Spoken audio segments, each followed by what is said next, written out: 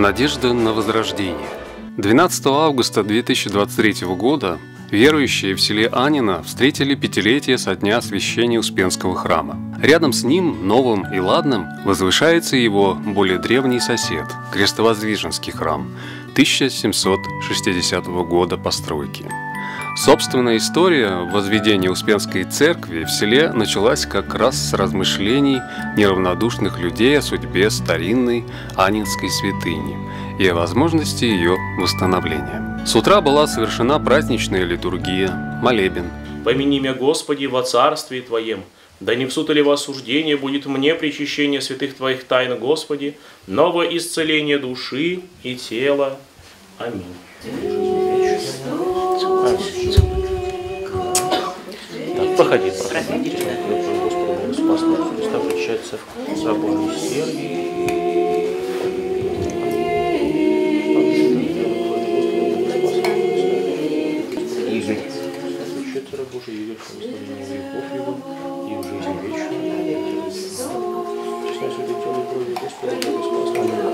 И Тебе славу, благодарение, поклонение высылаем Отцу и Сыну и Святому Духу, ныне присно и во веки веков. Буде имя Господне благословенно отныне до века. Господи помилуй, Господи помилуй, Господи помилуй. Всем вам от всей души пожелать, чтобы вот то горение, которое было у вас еще пять лет назад, когда только начиналась здесь духовная жизнь, только возрождалась а, община, только возрождалась эта церковь, вот то духовное горение, оно не покидало вас и э, постоянно двигало вперед. Молитва творит чудеса. Община собирается маленькая-маленькая, начинает крестные ходы. Иерихонские стены, врага рода человеческого, который опутывал место, да, чтобы запу- запустение осталось, они начинают спадать. Начинается возрождение духовной жизни чудом Божиим. Вот. Я считаю, что, ну, по рассказам отца Александра Добродеева, которого сейчас, к сожалению, нет с нами, а очень бы хотелось, чтобы он был, его тоже поздравить нужно за все его дела, благие и заслуги. По его рассказам, храм строился на самом деле чудом Божиим. И тот ковчег, да, э, который вы имеете, он тоже построился вот, благодаря молитве, в первую очередь, благодаря молитве, а уже после молитвы, благодаря добрым делам, в первую очередь всех вас. Поэтому еще раз от всей души поздравляю с этим особенным днем для вас. И хочется пожелать вам здравия душевно-телесного, чтобы Господь отпустил вам еще многие-многие лета ради ваших вот этих стараний на духовной ниве возрождения а, храма в Михайловском районе, в вашем селе Анина. Пресвятая Богородица, спаси нас! и крестный ход, который возглавил благочинный Михайловского второго округа иерей Александр Рунов в сослужении настоятеля протеерея Сергия Орлова. Черешни колы, моли Богу нас. Господу помолимся, рцем сим. Господи помилуй, Господи помилуй,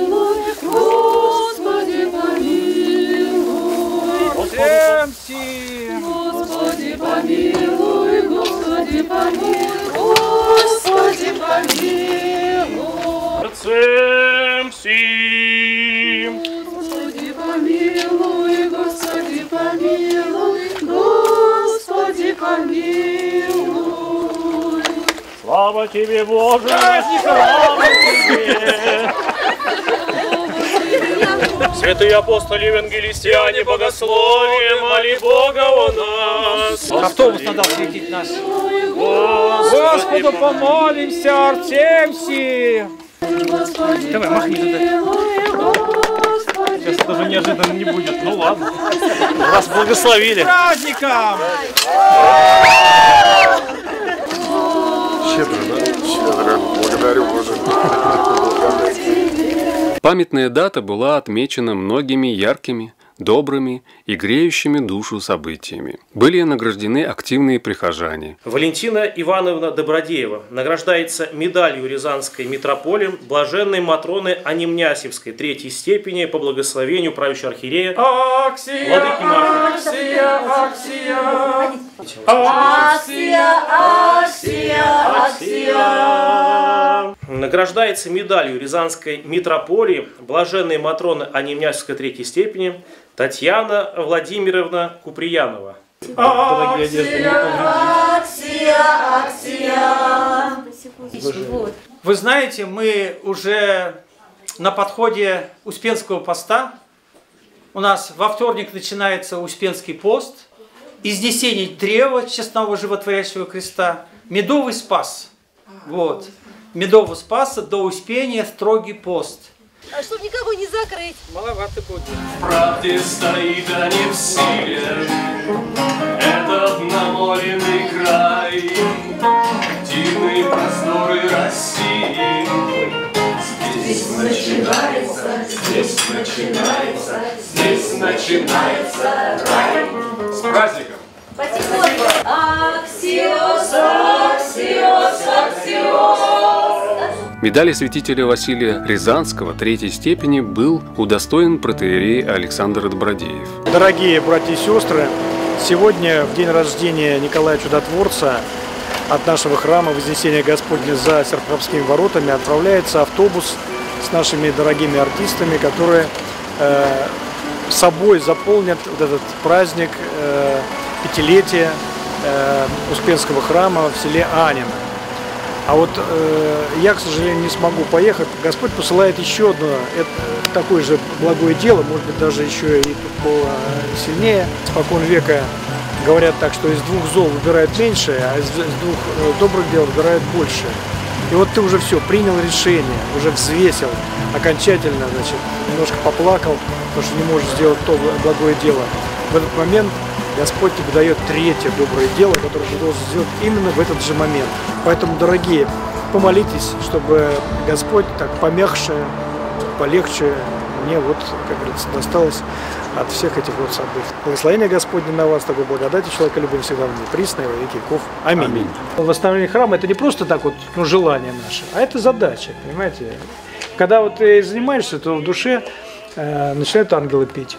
Это тоже очень важно. Как бы правая сторона и левая сторона храма. И вот правая сторона она все время олицетворяет земную жизнь. Тут видите, поле цветет, там цветы, солнышко все время там светит. А вот с, с, слева от нас тут кладбище. Тут лежат уже э, те, которые эту э, земную жизнь уже прошли. Они уже в той, в иной и интересным образом, когда строили забор, как раз вот так вот построили, прям пополам, разделили земная жизнь и потусторонняя.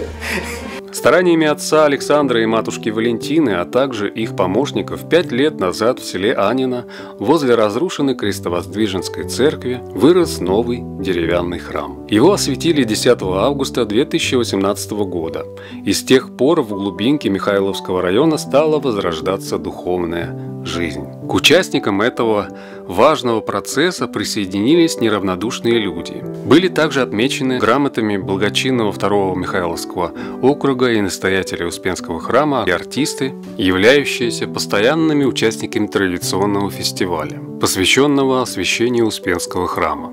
С утра и до обеда в этот день было пасмурно. Периодически шел дождь, но это вовсе не омрачило праздничного настроения.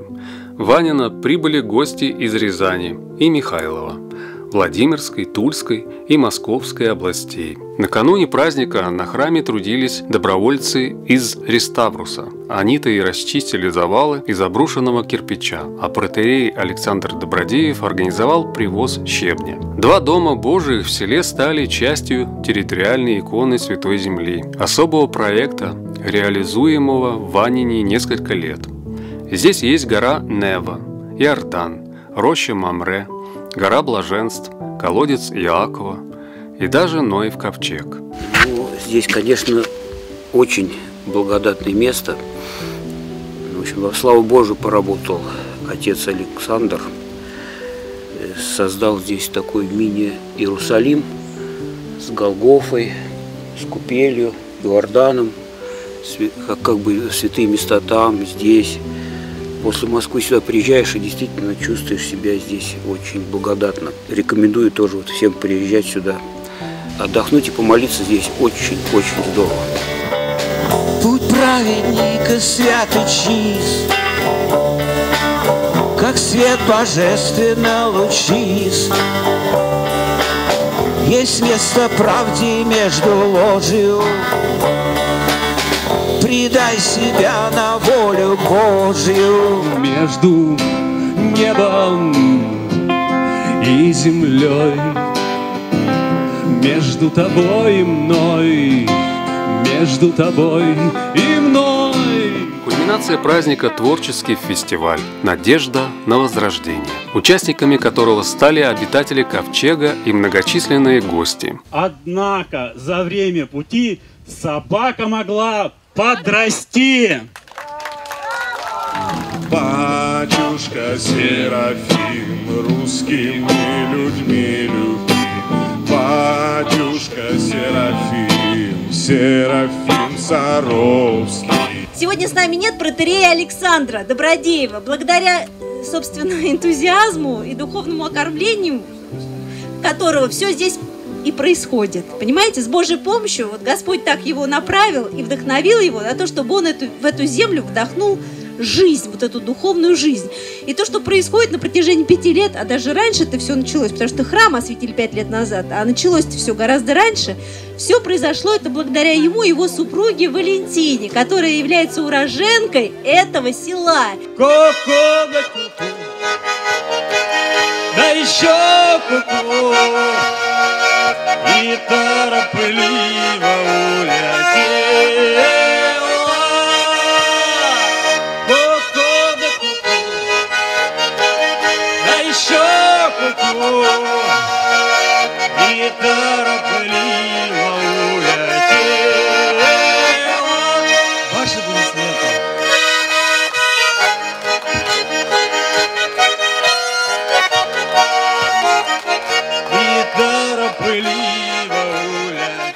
Действие происходило на горе Блаженств. За большим столом под навесом гостей и участников фестиваля объединила праздничная трапеза – пироги, чай, шурпа и плов, которые приготовили друзья прихода Руслан Мирзоев и его многочисленная родня. Огромный казан и барашка для угощения пожертвовал местный фермер Алексей Михайлович Заковыркин. Завершением дня стал праздничный салют. Сегодня в Анином могут приехать все, кто желает помолиться и потрудничать во славу Божию, насладиться красотой рязанской глубинки.